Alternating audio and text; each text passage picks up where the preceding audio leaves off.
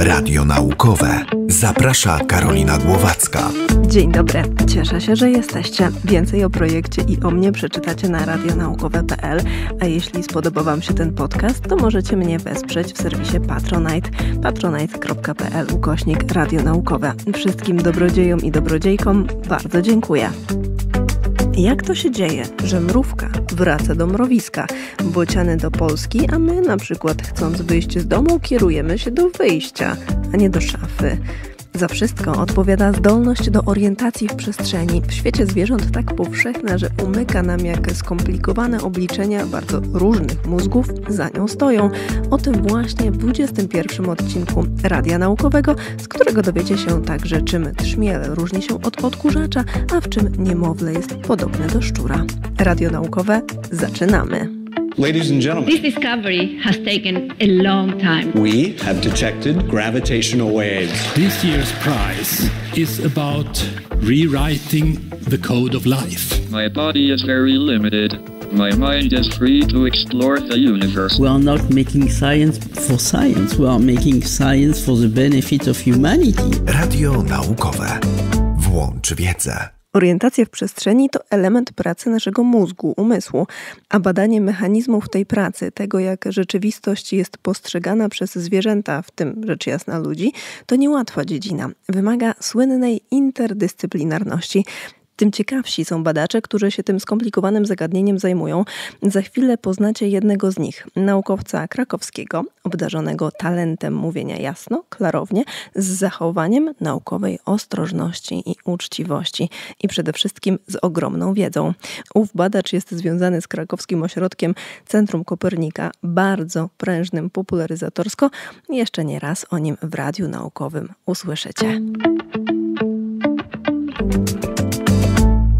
Dr Mateusz Chochol, kognitywista, czyli badacz umysłu, Uniwersytet Jagielloński, Centrum Kopernika Badań Interdyscyplinarnych. Dzień dobry. Dzień dobry, witam serdecznie. Muszę przyznać, że dzisiejszy odcinek jest w moim głębokim interesie, bo moja orientacja przestrzenna jest niemalże zerowa w takim metapoziomie, bo jeśli spojrzymy na nią na co dzień, to każdy jednak taką orientację przestrzenną ma. Chciałam zapytać, jak stary ewolucyjnie to jest mechanizm które zwierzęta mają orientację przestrzenną, a może lepsze będzie pytanie, które jej nie mają, bo to chyba umiejętność dość powszechna.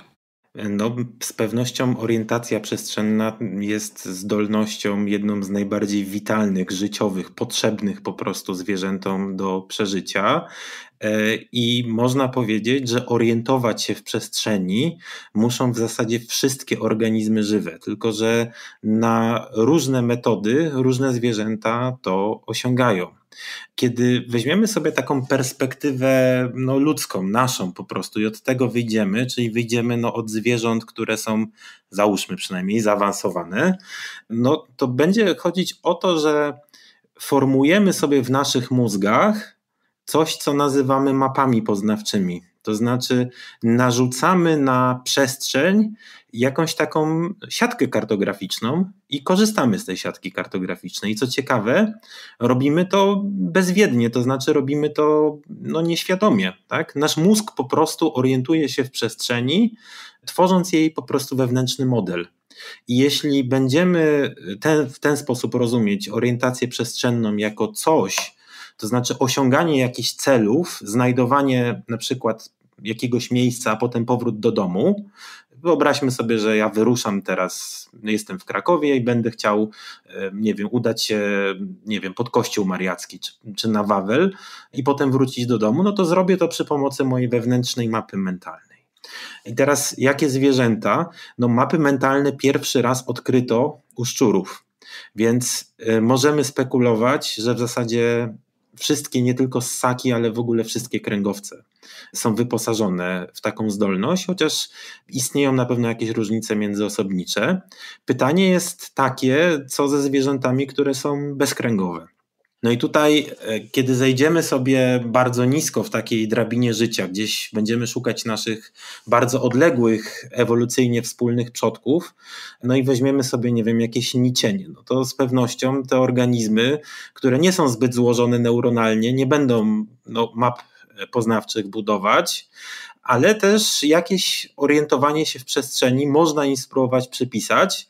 Tyle, że no, to są takie dość proste mechanizmy funkcjonowania, które mam mniej więcej no, mój robot sprzątający, najtańszy i najprostszy, to znaczy ma zaprogramowanych kilka ruchów i kiedy napotka na jakąś przeszkodę, no to wdraża jedną ze strategii, ale on nie ma jakiejś reprezentacji. Albo głupieje, jeśli jest zbyt skomplikowana sytuacja. Tak, ale on nie ma żadnego wewnętrznego modelu. Te droższe roboty to mają. No i wydaje się, że kręgowce są tymi dro droższymi robotami właśnie, ale no też nie chciałbym uprościć tej sprawy, mówiąc tak, kręgowce mają modele przestrzeni, a bezkręgowce mają tylko kilka wbudowanych zachowań, to znaczy kierują się na przykład ku światłu. Kiedy napotkają przeszkodę, to wykonują pewien ruch, który śmiesznie się nazywa koziołkowaniem.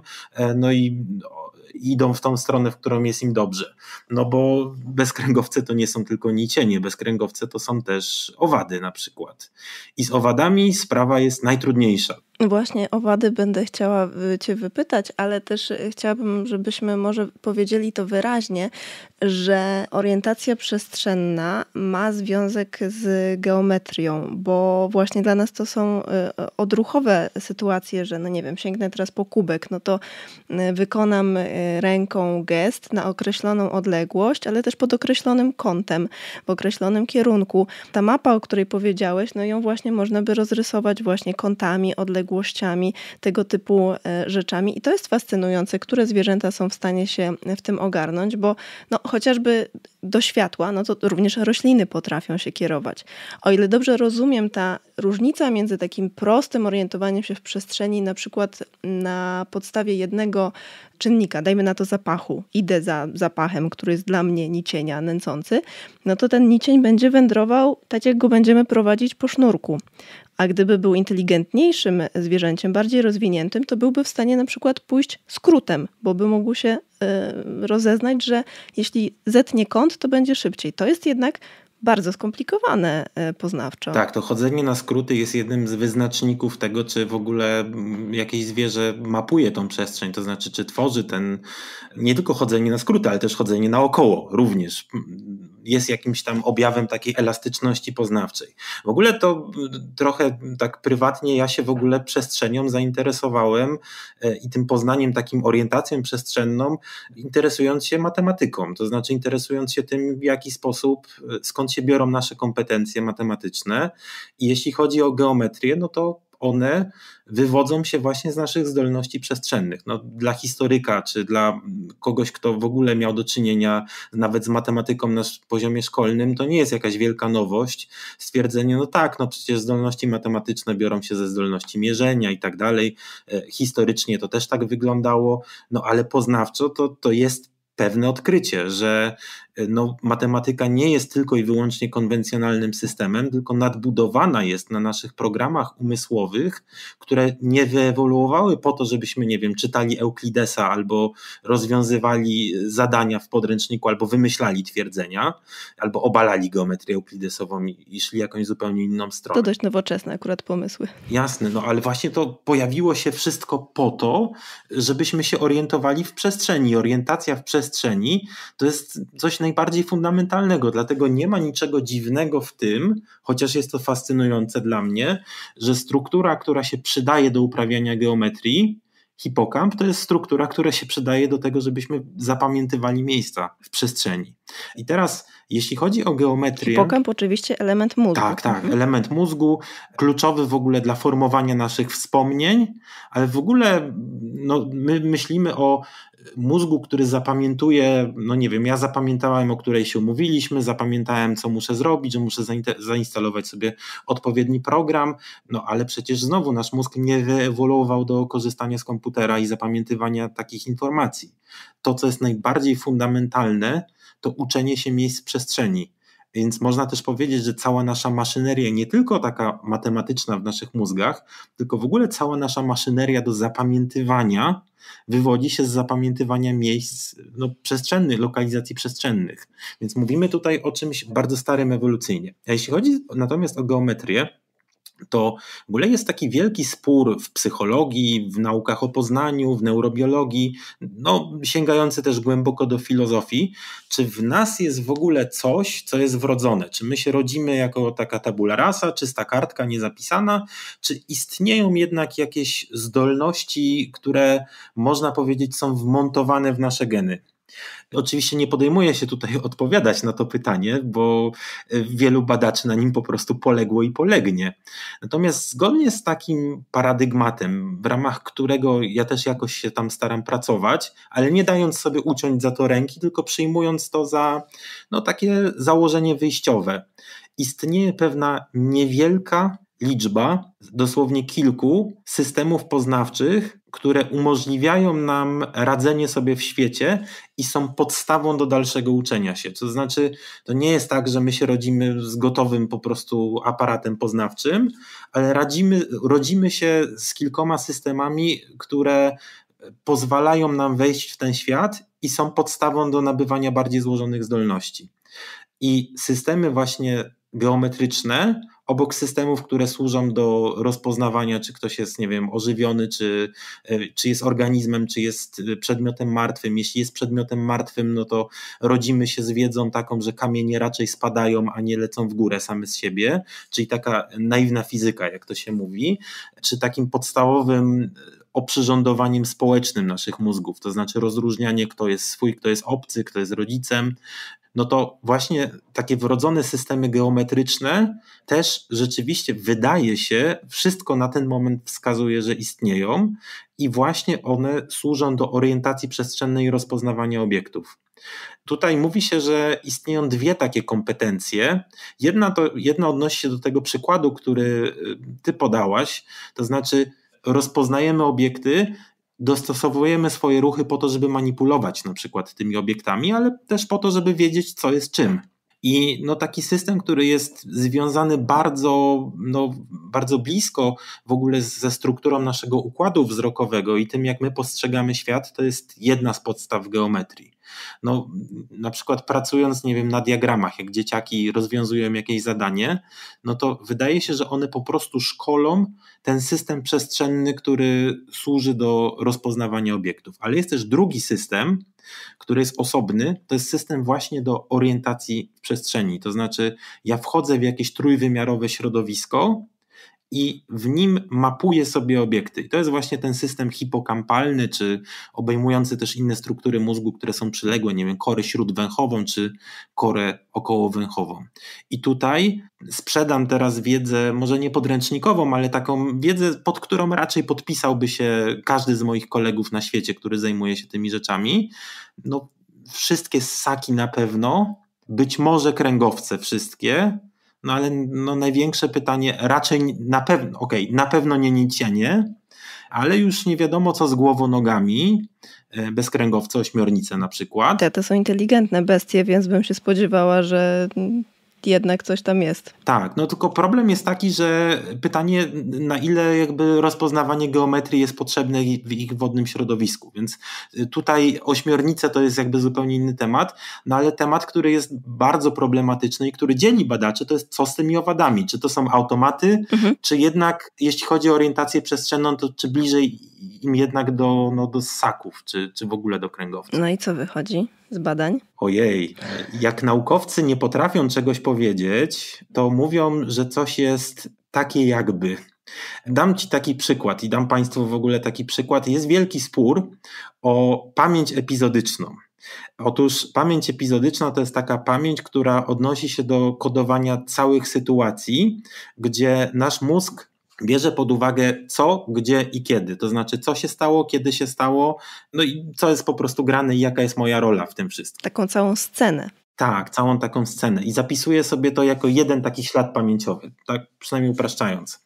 I teraz był taki pomysł takiego psychologa e, Tulwinga, że tylko ludzie mają taką pamięć, która jest, gdzie, gdzie tworzymy w naszych mózgach takie zunifikowane właśnie sceny i że to jest jedna z podstaw naszej samoświadomości.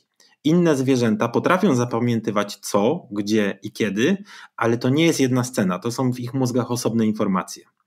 No i wielu badaczy mówiło, że to nie jest takie proste. Pokazywano na przykład, były takie sprytne eksperymenty, no ale nie chcę się rozgadywać nad krukowatymi, gdzie wychodzi, że jednak one mają tak jakby pamięć epizodyczną, ale znowu Inni mówili, że to nie do końca jest tak jak u ludzi. To jest też bardzo trudno do zweryfikowania. Od razu właśnie chciałam się przyczepić, skąd my możemy wiedzieć o tym, że one są takie pokawałkowane, te wspomnienia. Dokładnie. No i teraz stanęło na tym, że zwierzęta mają episodic-like memory, czyli pamięć jakby epizodyczną.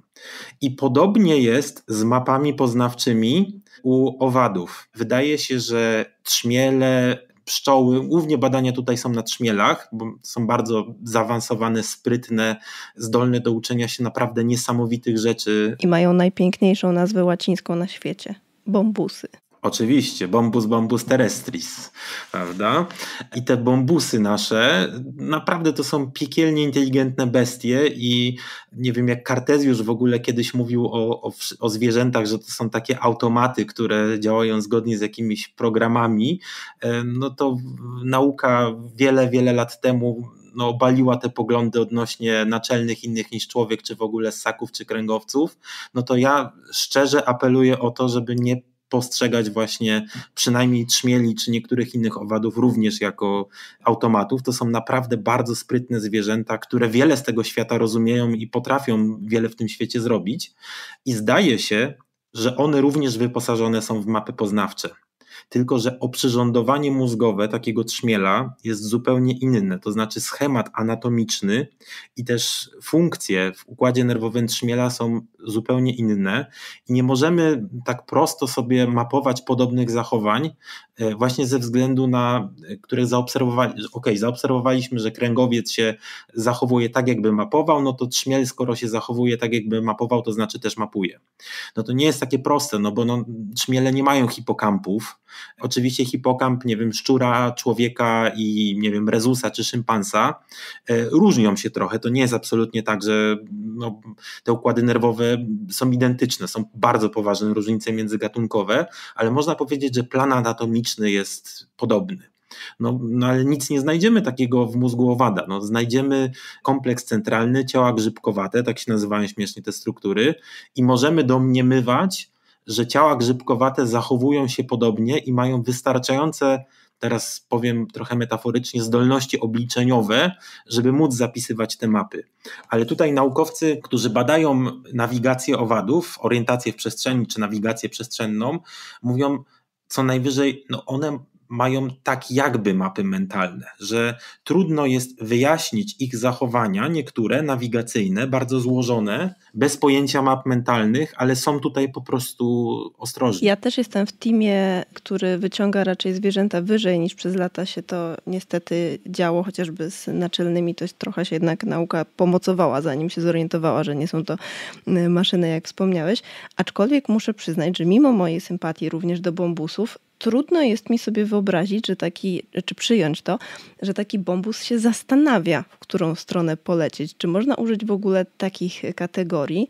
A jeśli tak, to na podstawie czego on by taką decyzję, w którą stronę lecieć, e, podejmował? To znaczy, co jest dla niego czy dla niej e, wyznacznikiem? Zastanawianie się to jest jakaś czynność świadoma e, i no ja no nie szedłbym na pewno tak daleko. Nie przypisywałbym, szczerze powiedziawszy, no nie przypisywałbym. No to inaczej, to czy weźmiemy 10 bombusów, to te 10 bombusów poleci za każdym razem taką samą ścieżką, wtedy by to wskazywało, że są automatami, czy one jednak będą będą kombinować, to może użyjmy takiego określenia. To, co zrobiłaś, to pięknie nazywa się w nauce operacjonizacją. No, odpowiedź byłaby taka, że nie, niekoniecznie. One wykazują, wykazują bardzo elastyczne zachowania, mogą robić to różnie, mogą się uczyć od siebie, to się może zmieniać. Bynajmniej nie są po prostu takimi zaprogramowanymi automatami. To i różnie od tego twojego robota sprzątającego, prawda? Bo weźmiemy 10 egzemplarzy twojego robota,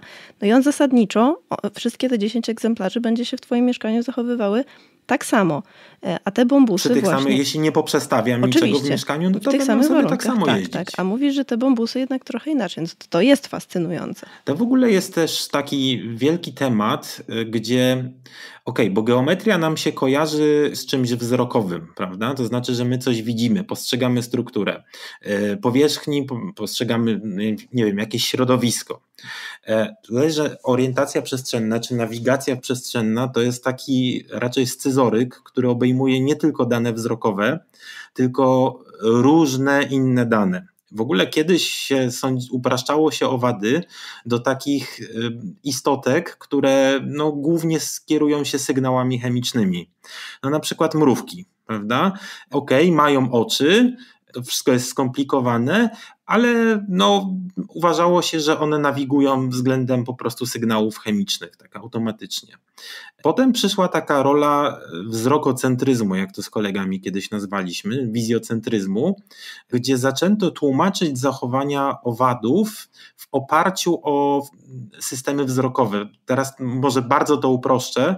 Pomysł jest taki, że jak owad, przyjmijmy, tak założymy, że ten owad nie ma żadnej świadomości. Jest, mózg robi pewne rzeczy automatycznie. Jak owad sobie eksploruje, eksploruje, eksploruje i dochodzi do jedzonka, załóżmy, że wyszedł no, ze swojego gniazda, to jego oczy złożone rejestrują no, takie migawki na siatkówce. Okay? Rejestrują sobie te migawki na siatkówce, w jakiś magiczny sposób gromadzą je w pamięci. To jest akurat problem tego modelu. O, pierwszy raz słyszę chyba, żeby naukowiec powiedział magiczny sposób. To jest problem modelu po prostu. To jest jeden z problemów złożoności obliczeniowej, gdzie one przechowują te wszystkie dane. No ale o, jeśli chodzi o zasady, pomysł jest taki, że są te obrazy na siatkówce, jeden, drugi, trzeci, 1800. No, co, jakąś, co jakiś ułamek czasowy nowy obraz jest rejestrowany i zapisywany. Owad sobie znajduje coś i teraz chce no, wrócić do domu. To co robi? Po prostu porównuje ścieżkę, czy, czy te obrazy, które mm, no, są aktualnie obserwowane, pasują do tych, które były zapamiętywane. I to się nazywa fachowo view matching, czyli takie dopasowywanie obrazów. Jeśli obraz jest niedopasowany, to znaczy, że trzeba skręcić troszkę. No i, i w ten sposób dochodzi do, do gniazda. Teraz nie chcę wchodzić w szczegóły, tylko chcę powiedzieć, że kiedyś w ogóle myślano o tych owadach jako takich chemicznych maszynach. Potem okazało się, że no, modele różne, teoretyczne i komputerowe, bo, bo to głównie na symulacjach komputerowych było robione, bardzo dużo przyznawało temu zmysłowi wzroku. A teraz, teraz nauka odkrywa, to jest w ogóle taki standard, tak? nauka odkrywa rzeczy, które są no, dla ludzi oczywiste, nie? No, że, że owady mają taki szwajcarski scyzoryk różnych strategii opartych na różnych zmysłach i realizowanych różnie przez no, różne centra mózgowe i korzystają z tych, których potrzeba. I to jest znowu taki przykład tej złożoności behawioralnej, czy tej, tej, złożoności zachowań nawigacyjnych, że ta elastyczność nie polega tylko i wyłącznie na tym, że można zachować się w obliczu tych samych danych na różne sposoby. Elastyczność polega na tym, że wykorzystuje się różne systemy mózgowe i różne programy, żeby nawigować w różnych warunkach. No na przykład weźmy sobie pszczoły, one jak sobie latają, to one mogą rozpoznawać spolaryzowane światło w pochmurne dni. Czyli inaczej trochę to działa, jeśli niebo jest widne, a inaczej, jeśli, a inaczej, jeśli jest zachmurzenie. I teraz inne systemy będą uruchamiane wtedy, kiedy owad sobie leci i ma dłuższą drogę do no, przebycia, a inne jak już musi precyzyjnie znaleźć miejsce, jak wyląduje. Podobnie jest zresztą z ptakami. Ten szwajcarski scyzoryk ptaków obejmuje wykrywanie pola magnetycznego, obejmuje kierowanie się ze względu na, na gwiazdy, niczym żeglarze starej daty.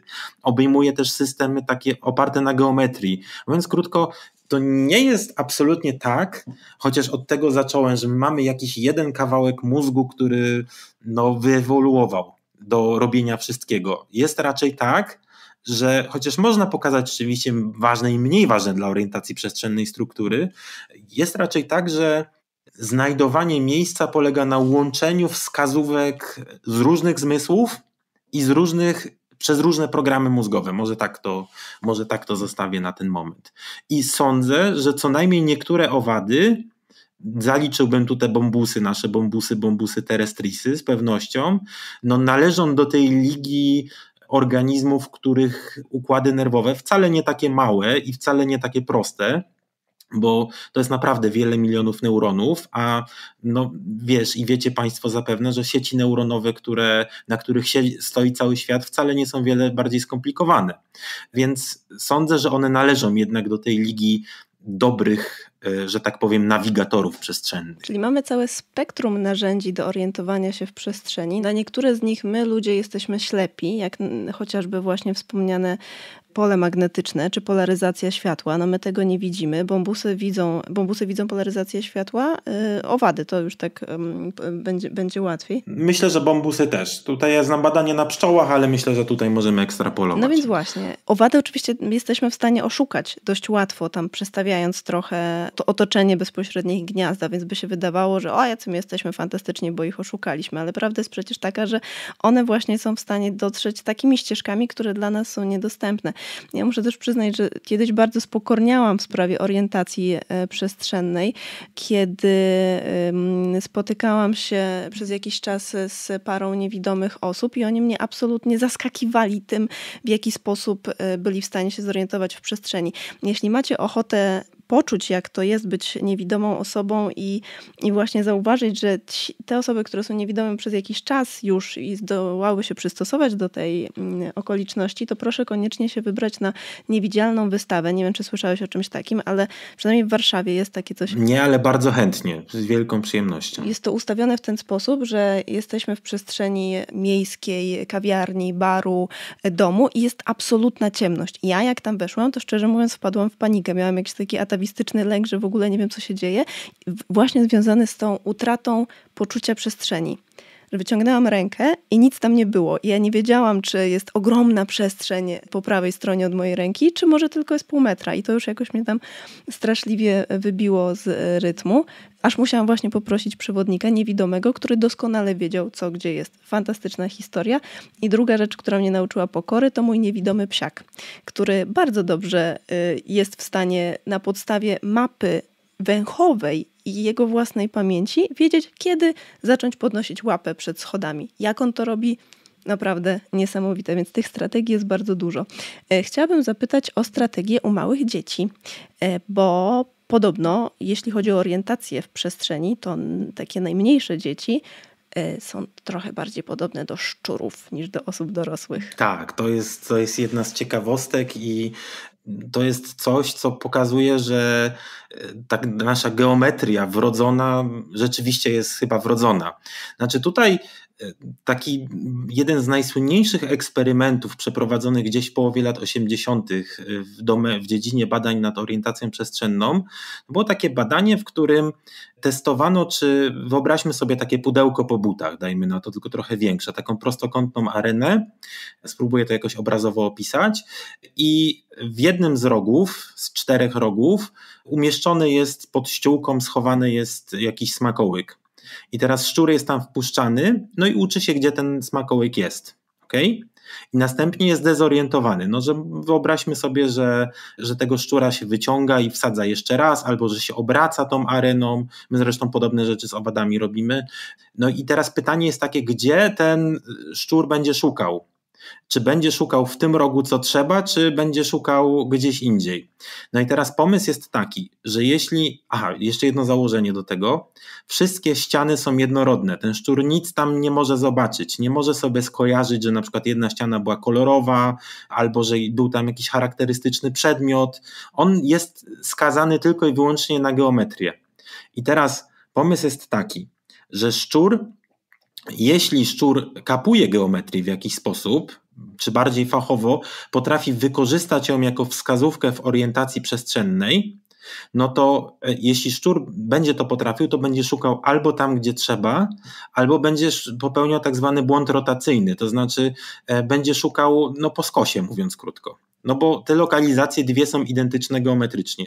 No jeśli nie kapuje geometrii, no to będzie szukał chaotycznie w każdym z rogów. No i wyszło, badacz się nazywał Ken Cheng, zresztą jeden z najsłynniejszych badaczy orientacji przestrzennej zwierząt i ludzi, zobaczył, że, że szczury rozumieją geometrię. I kilka lat później, to znaczy szukają albo tam, gdzie trzeba, albo po skosie tej areny, ale nie w dwóch pozostałych rogach. I kilka lat później e, badaczki z Uniwersytetu Harvarda, teraz przynajmniej pracujące na Harvardzie, postanowiły ten sam eksperyment przeprowadzić u ludzi i zbadały małe dzieciaki, najmniejsze, jakie po prostu mają zdolność do przemieszczania się samodzielnie, i zbadały też takie dzieciaki, które są nazywane studentami. Czyli zbadały po prostu, mówiąc krótko, dzieci i dorosłych. Ciekawa jestem, co było smakołykiem w jednym i drugim przypadku. Tak.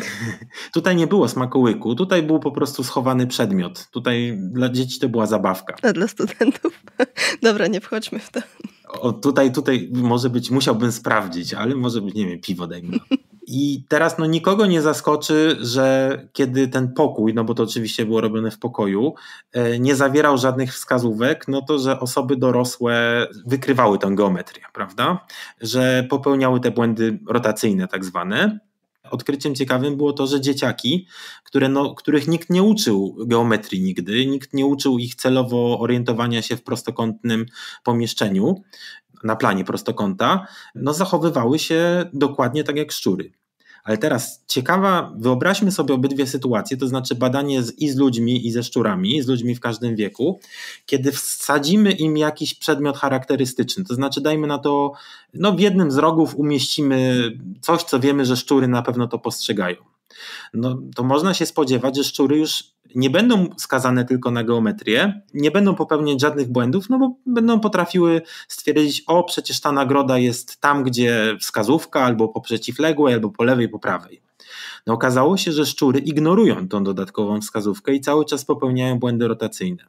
I to jest bardzo ciekawe, to jest tak naprawdę najciekawsza część tego, całego tego eksperymentu, bo okazuje się, że to geometria jest właśnie częścią tej naszej niech będzie wrodzonej wiedzy. Chociaż ja tak naprawdę nie lubię tego słowa i staram się go unikać i używam jakichś tam bardziej naukowych terminów, ale zostańmy przy wrodzoności z pewnym zastrzeżeniem, no bo trochę zastrzeżenie niech wybrzmi, nie? Na przykład, no ja mam zarost. Mój zarost jest wrodzony czy nie? No jak byłem dzieckiem, no to nie miałem zarostu, nie? Czyli może bardziej mamy wbudowany jakiś szkielet umiejętności, rusztowanie, coś takiego. Mhm. No właśnie, no ale tutaj to słowo jest takie trochę kontrowersyjne, dlatego my mówimy, że zamiast wrodzone, że coś jest stare filogenetycznie, że się pojawia wcześniej w trakcie ontogenezy, no staramy się e, omijać to słowo szerokim łukiem, może tak. Ale na nasze potrzeby tej naszej rozmowy niech ono zostanie. Najbardziej niesamowite w tym eksperymencie było to, że, że szczury preferują jako wskazówkę geometrię, a nie coś, co wiemy, że rozpoznają. Czyli zamiast skierować się na czerwoną kropkę, dajmy na to, to one po prostu wybierały konkretny róg. Taki, który powiedzmy po prawej stronie jest, ma dłuższą, ym, dłuższą yy, ścianę, a po lewej krótszą i to, o tym mówisz, o tym błędzie rotacyjnym. To jest, to jest strasznie ciekawe. Albo, prze, albo po skosie. Mhm. I dzieci też, te najmniejsze. Tak, i teraz i one były i one by, i, i popełniały błędy przez to. Czyli są koszty tego. I no i właśnie i okazało się, że o ile dorosłe osoby nie popełniają błędów, to znaczy biorą sobie tą wskazówkę i ujednoznaczniają swoje poszukiwania, to dzieciaki zachowują się podobnie jak szczury. To znaczy geometria jest bardziej wbudowana w ich mózg niż wiedza o obiektach i zdolność do wykorzysta wykorzystania ich w orientacji przestrzennej. No i to jest takie wielkie pytanie, dlaczego ta geometria akurat jest właśnie tym, co pozwala nam no, no, orientować się w przestrzeni. Dlaczego ona, już wiemy, że mamy scyzoryk, ale dlaczego wiemy, że ona jest jednym z tych ważniejszych ostrzy, e, takim głównym ostrzem scyzoryka być może. Nie? Pytanie jest ciągle otwarte, rozumiem. Jest, ale w największym skrócie, jeśli mogę, można na nie odpowiedzieć tak, że oczywiście szczury popełniały błędy i przez te błędy w ogóle my jesteśmy się w stanie czegoś dowiedzieć, ale no, szczury w naturze ani dzieciaki no, nie żyją tylko w środowisku, które jest prostokątnym pokojem, tylko żyją w złożonej przestrzeni. Więc koszty, które niewątpliwie są używania tej strategii, nie są aż tak straszne. Natomiast w środowisku naturalnym e, geometria daje więcej niż e, kierowanie się na obiekty. Dlaczego? No bo dajmy na to, wyobraźmy sobie zwierzaka, który w lesie szuka e, swojego domu, odnosząc się, nie wiem, do jakiegoś charakterystycznego drzewa. No ale to drzewo może piorun szczelić. Jeśli to będzie krzak, no to może je śnieg przykryć. Natomiast struktura powierzchni, taka ogólna struktura środowiska jest bardziej stała. Więc pomysł jest taki, taka hipoteza wyjaśniająca te wyniki. Wydaje się, że całkiem wiarygodna, że y, no po prostu dobór naturalny selekcjonował programy umysłowe ze względu właśnie na y, orientację, ze względu na geometrię, a nie na poszczególne obiekty. I to samo, i co jest testem, nieostatecznym, ale jednak, no właśnie w tych najtańszych robotach sprzątających dokładnie ta sama strategia jest stosowana, dlatego że ona jest całkiem efektywna. Te, te, te, te roboty, pomimo że są głupie, to jednak pokrywają całą powierzchnię. Mówiąc krótko, łatwiej jest zaprogramować efektywną orientację po pokoju ze względu na geometrię niż śledzenie wszystkich obiektów. A jak dodamy do tego, że obiekty się mogą ruszać w świecie naturalnym, to geometria, która jest stała, wydaje się rachunek zysków i strat jest całkiem na plus. Rozumiem już teraz, bo ta laboratoryjna czerwona kropka eksperymentalna jest bardzo wyraźna i konkretna w tych warunkach właśnie badania i mogła być złudna, ale jak zwróciłeś uwagę na to właśnie, że środowisko jest dużo bardziej skomplikowane i kierowanie się, dajmy na to, na charakterystyczne drzewo może być dla nas złudne. No dobrze, ale to by w takim razie wychodziło, że maleńkie dzieci są lepsze w orientowaniu się w przestrzeni niż ich e, opiekunowie dorośli, bo powiedziały, że dorośli studenci już się kierowali raczej na te znaki. To o czym to świadczy w takim razie? Co się takiego dzieje w międzyczasie? Nie jest tak, że, że dzieciaki są lepsze. Studenci dorośli potrafią łączyć elastycznie. Czyli biorą to, co jest wygodniejsze po prostu. Tak, tak. Biorą to, co jest to, co zwiększa szanse znalezienia tego, co ich interesuje, no nie? E, I tutaj pomysł jest taki, taki scenariusz, że jak mówiłem, mamy dwa takie systemy geometryczne. Jeden służy do orientacji właśnie w środowisku trójwymiarowym, a drugi służy do rozpoznawania obiektów, do rozpoznawania obiektów ze względu na ich kształty. I pomysł jest taki, że w pewnym momencie naszego rozwoju my uczymy się kombinować to, co dostarczają obydwa te systemy i traktować to jako jedność. To znaczy, nie rozpatrujemy osobno geometria przestrzeni plus kształty poszczególnych obiektów, to jakie one są i czym one są, tylko no, spajamy to w, jakby w jedną. E, my fachowo mówimy reprezentację umysłową. No po prostu tworzymy jeden model umysłowy z tego. No i to się dzieje gdzieś koło szóstego roku życia, ale tutaj jest więcej, że tak powiem, e, więcej tutaj jest domniemań i pewnych interpretacji eksperymentów niż testowania hipotez wprost. Niemniej to, co my dorośli robimy, to wychodzimy trochę poza ograniczenia geometrii. No i na przykład nie popełniamy tych błędów rotacyjnych w zadaniu. No możemy więcej, możemy bardziej precyzyjnie i pomysł jest taki, to jest tutaj ważne, chyba, że to, co my potrafimy więcej niż małe dzieci czy szczury, to nie jest tak, że gdzieś się w nas samoczynnie rozwija jakiś program genetyczny i w pewnym momencie dostajemy y, taką zdolność, no tylko to jest wytwór kulturowy, to znaczy pewne wynalazki kulturowe, które ludzkość wynalazła i które rozpowszechnia, e, sprawiły, że stajemy się mądrzejsi przy pomocy szczurzego oprogramowania. Wiem, że to może zabrzmieć obrazoburczo dla niektórych, ale to nie jest tak, że my wynajdujemy jakieś super nowe programy mózgowe. Raczej jest tak, że korzystamy z tego, co mają wszystkie ssaki czy kręgowce, e, tyle że wynalazki kulturowe pomagają nam no, robić to efektywniej i no, dlatego jesteśmy tu, gdzie jesteśmy. Absolutnie, nie wyłoniliśmy się E, z, z niczego, tylko wszystkie nasze przecież zdolności są jakąś, e, biorą się z jakiejś ciągłości ewolucyjnej. Wiem z Twoich prac, że język ma również znaczenie dla orientowania się w przestrzeni. No właśnie, język jest tym jednym z kluczowych wynalazków kulturowych, bo język jest wynalazkiem kulturowym. Nie? Tutaj pomysł jest taki, że moment rozwojowy, w którym mm, dzieciaki mają już ten dorosły wzorzec orientacji przestrzennej, to znaczy łączą wiedzę o ogólnej geometrii środowiska z wiedzą na temat obiektów, ich kształtów w małej skali, tego czym obiekty są, to zbiega się akurat z momentem, kiedy, kiedy zaczynają operować słownictwem lewo, prawo, nad, wy, to znaczy słownictwem przestrzennym. I tutaj jest taka hipoteza, która mówi, że ja cały czas korzystam i staram się tego nie robić y, z takiego technicznego pojęcia psychologów i kognitywistów, że to jest jakaś reprezentacja umysłowa, czy jakiś model umysłowy. Chodzi o to, że nasz mózg nieświadomie no, po prostu przetwarza pewne informacje i no, tworzy taki wewnętrzny model świata. I teraz pomysł jest taki, że ten nieświadomy wewnętrzny model świata mają i szczury, i mają ludzie, no mają ogólnie zwierzęta.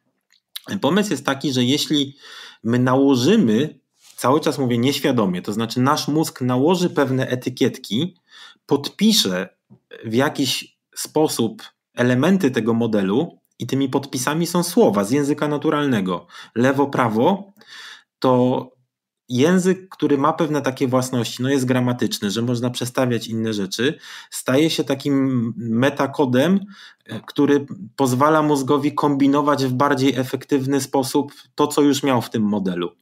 Czyli mówiąc krótko, e, jak nakładamy sobie język ze wszystkimi jego dobrodziejstwami, czyli głównie z gramatyką, która pozwala przenosić pewne frazy, pozwala łączyć je w szersze rzeczy. Jak nasz mózg dostaje, mówię strasznie metaforycznie o tym, ale trochę inaczej się nie da o tym mówić, dlatego że to wynika nie tylko z badań empirycznych, ale też z modeli komputerowych, które no, wykorzystują po prostu takie słownictwo. Jeśli mózg dostanie do dyspozycji te podpisy, to wtedy jest w stanie bardziej elastycznie łączyć tą wrodzoną wiedzę. Taki jest pomysł. Nie, tylko wrodzoną wiedzę, ale po prostu całą wiedzę, która była, która została zakodowana także w sposób niejęzykowy. Także pomysł jest taki, że język jest rzeczywiście ważnym elementem e, w rozszerzaniu naszych zdolności I to rozszerzanie jest niesamowite nie tylko na przykładzie takich złożonych wytworów kulturowych, które znamy po prostu ze świata, ale nawet z tak prozaicznych zdolności jak orientacja w przestrzeni. Jak nasz mózg dostanie te podpisy, to może przy pomocy manipulowania tymi etykietkami, tymi przyczepionymi karteczkami zrobić bardzo złożone niewyobrażalne dla innych zwierząt rzeczy. Rozmawiamy cały czas na poziomie gatunków, to znaczy, że szczury mają tak, yy, nicienie mają inaczej, bąbusy mają jeszcze inaczej. No mamy to rozróżnienie w przypadku ludzi, jeśli chodzi o wiek, ale jest też przecież różnica między pojedynczymi osobnikami, czy nawet osobniczkami. Bo jak mówiłam, ja jestem na, naprawdę noga, jeśli chodzi o orientację w przestrzeni i to w jakimś zupełnie, szczerze mówiąc, patologicznym sensie. To znaczy ja na przykład nawet w rodzinnym mieście.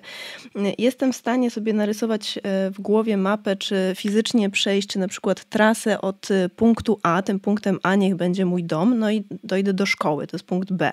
No powiedzmy do centrum handlowego to jest C. No i spoko. Natomiast między B a C, między szkołą a centrum handlowym miałabym kłopot, żeby trafić. Łatwiej byłoby mi wrócić do domu, i do tego centrum handlowego. W moim rodzinnym mieście mam z tym kłopoty.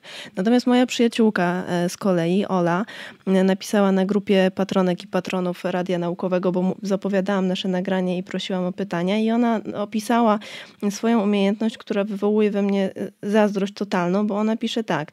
Ja mam tak, że nawet jak jestem w nowym miejscu, to mniej więcej czuję, którędy trzeba iść albo jak wrócić inną trasą w to miejsce, z którego wyszłam, choć to pewnie po części wynika z tego, że lubię przeglądać mapy i rzut oka na mapę mi wystarczy, żeby potem wiedzieć, że dworzec jest w zachodniej części miasta, a najfajniejszy park w północnej i cześć i to styka. A ja się będę patrzeć na tę mapę i też mi to niewiele da. Czy wiemy skąd się biorą takie różnice e, osobnicze? Nie wiemy skąd się biorą różnice osobnicze do końca. Wiemy z czym one mogą korelować i wiemy, że ludzie rzeczywiście różnią się orientacją przestrzenną. No, nie zadałaś tego pytania, ale cały czas w eterze jest pytanie o różnice międzypłciowe. No, stereotyp jest jaki e, jest, nie będę go mówił, dlatego że powielanie stereotypów no, może, że tak powiem, fałszować kolejne wyniki, więc dość istotnie wybrałam, przyznaję, przykład siebie i swojej przyjaciółki.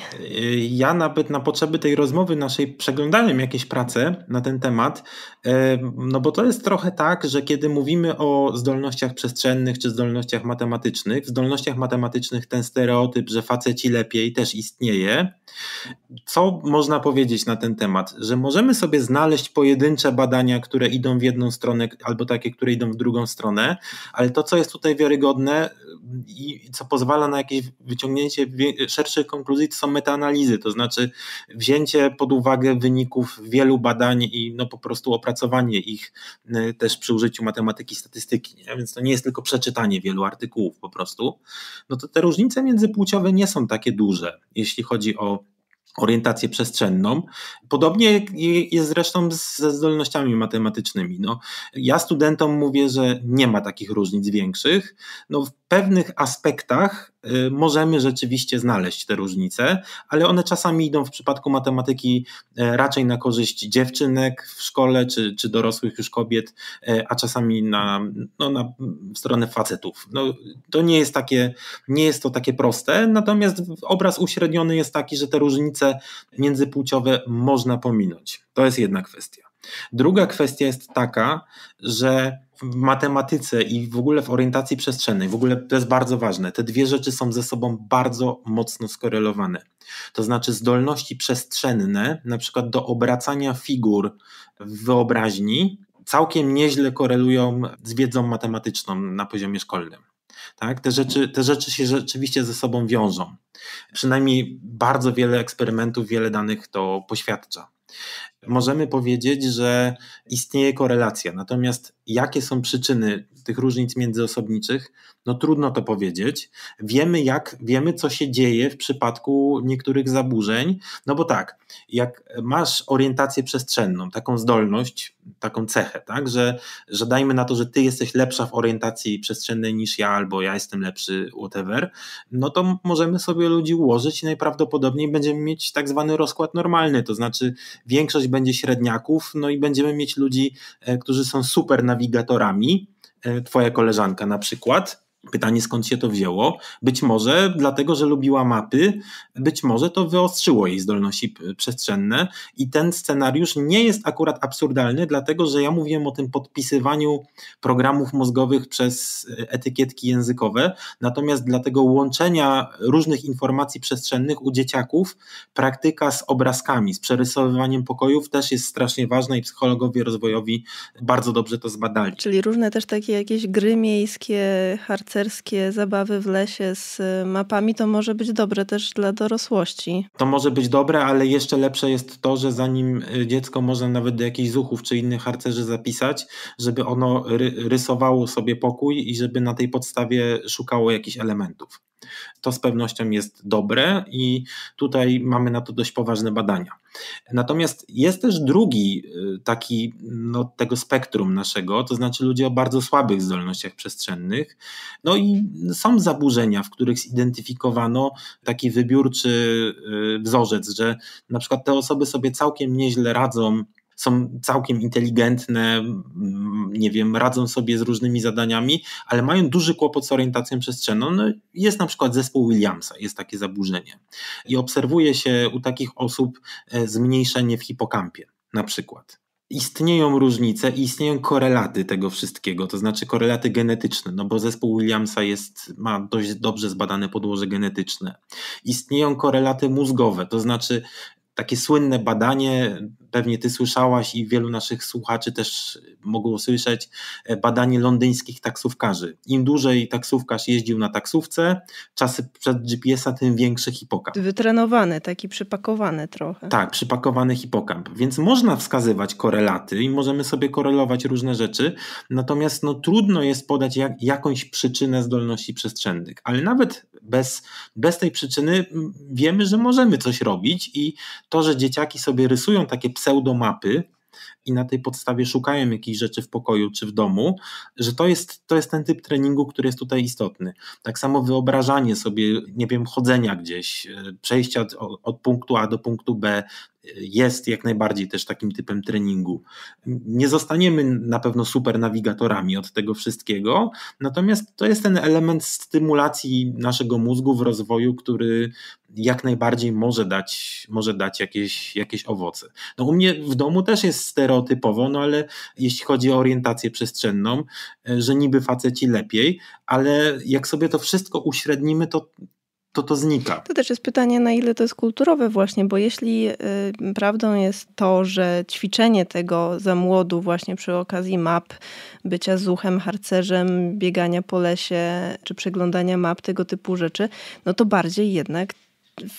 polskich przynajmniej warunkach zwykle robią to chłopcy, więc chłopcy by się tego y, uczyli i później mogłoby to mieć y, przełożenie właśnie w dorosłości. Mhm. Tak, ja się pod tym podpisuję rękami i nogami i rzecz zbadana i też związana z tym, jak już mówiłem dość ściśle, to znaczy kompetencje matematyczne, no tutaj zagrożenie stereotypem i nadawanie właśnie tych etykietek, że faceci to są ci, którzy będą dobrzy z mapy i, y, i będą dobrzy z matematyki, a dziewczynki to żeby najlepiej, żeby sobie wierszyki pisały, to jest coś, co może być dla pojedynczych jednostek rzeczywiście przyczyną, no nie, nie bójmy się tego słowa, stępienia ich zdolności. No, mówiąc krótko, nie ma żadnych nie ma żadnych twardych biologicznych danych, które mówiłyby, że faceci będą lepszymi nawigatorami. Ale zobacz, może y, ja sama ulegam takiej autostereotypizacji, to znaczy daję sobie luz pod tym względem. Mówię, a dobra, ja nie muszę się zajmować tą orientacją w przestrzeni. Może to siedzi tak głęboko w nas kulturowo. Muszę to przetestować. Wyłączę GPS-a, jak się nie będę nigdzie spieszyć i będę próbowała się przemieszczać. Ale najlepiej nie po zmroku. Nie, nie po zmroku to nie. jakby zrobię to naprawdę wtedy, kiedy będę miała wystarczający zapas czasu, żeby wrócić e, spokojnie. Ciekawe to jest, bo mówię o tej e, autostereotypizacji otwarcie, bo wydaje mi się, że, że to jest bardzo głęboko zakorzeniony mechanizm i nawet jeśli jesteśmy tego świadomi, czy to jako dziennikarze, czy jako naukowcy, że tak jest, to czasami w różne pułapki sami wpadamy. Oczywiście, podpisuję się. Dlatego brońmy się przed tym. Dziękuję za fascynującą opowieść o orientacji. Dr Mateusz Chochol, kognitywista, czyli specjalista od badania zdolności naszych umysłów, Uniwersytet Jagielloński, Centrum Kopernika Badań Interdyscyplinarnych. Więcej o Mateuszu znajdziecie na jego stronie chochol.pl. Dziękuję bardzo. Bardzo dziękuję. Radio naukowe. Przygotowanie każdego odcinka to wiele godzin pracy. Jeśli spodobał Wam się ten podcast i chcielibyście, aby się rozwijał, żeby odcinków było jeszcze więcej, żeby były jeszcze ciekawsze, możecie mnie wesprzeć w serwisie Patronite. patronite.pl ukośnik radionaukowe. Od progu 10 zł zapraszam do grupy na Facebooku, gdzie prywatnie i swobodnie rozmawiamy o odcinkach i planach na kolejne programy. Polecam i z góry dziękuję. To był podcast Radionaukowe. Więcej znajdziesz na stronie radionaukowe.pl oraz na profilach na Facebooku i Instagramie. Bądźmy w kontakcie. Dobrego dnia!